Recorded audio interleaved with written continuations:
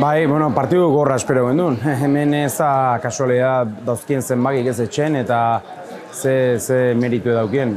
Eta, bueno, partidu berai bai ondo sartu dira, gu ez gain ondo sartu zelaien, esan barra dau, e, gola jaso du, gol osona sartu du, baino ez, ez geren oso kontundente, bigun xamar kanponek eskatzen doneako, eta kosten zaigu pixkat eh, situazioa dominatzea, berai bigarren jokaldi asko hartzen zizkiguen, beraien bertutek die, baino itzein dugu asko eta ikusi ditugu asko, eta ezin izan dugu asko kontrolatu, eta bueno, badalegi, bagu, baloi geldikako jokaldikin pixkat parekatzen eginen partidue, Sergi oso ondo izan atatzen, da ondo egin iristen, Eta pixkat, lehen osati hildo hortatik, junda, bere egukitu bi hiru aukera, eta guk baloi gelditan, horretorria berdinketako gola, pixkat hor bai baretu baitula jakinda, ba, basauriko partioen bezala, han alderantzizkoa izan zen, hemen igual berai nagusi izan di lehenengo zatin, eta berdinketakin sartu geha, eta bagenekun bere igual jetxiko ziela zeuze bigarren zatin.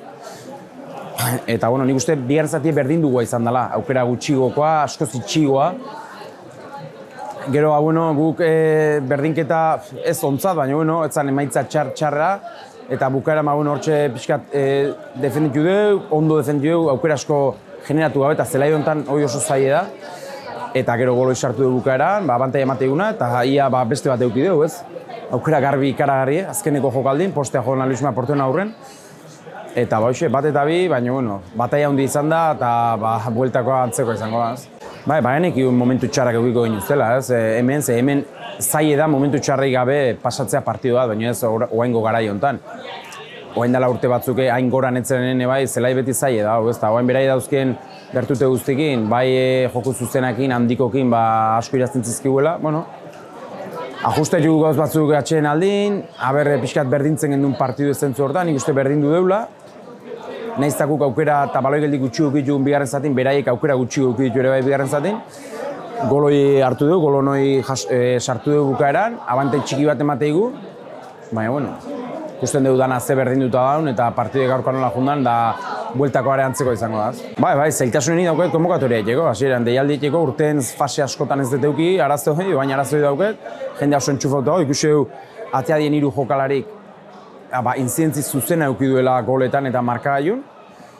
Eta horrek asko ematen dio entrenatzaiei, eta ez entrenatzaiei, baizik eta taldei, eta bueno, taldea oso lehiak iritsi da e, playoffea, bagenekiun talde honek ondo lehiatuko zuela playoffa, bueno, zati bat indeu, eliminatoria kontako beste zatia falta zaigu, eta ba, bueno, a ber, ikusiko dugu iganden ze, ze ateatzen den partidun, da, a ber, bukaera hona eman lehikeun eliminatorian.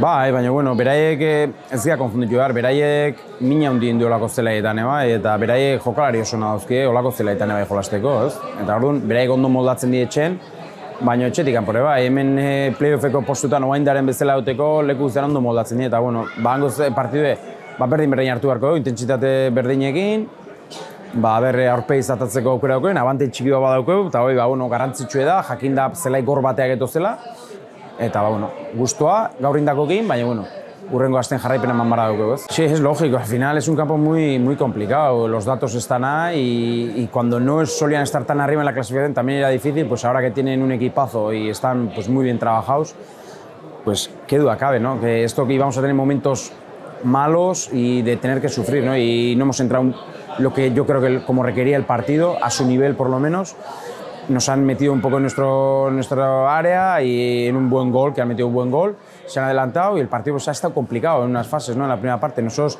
sujetábamos o igualábamos un poco con el balón parado, pero no, no, no, no teníamos el control del partido. Bueno, hemos metido ese empate que nos ha dado mucha vida antes del descanso.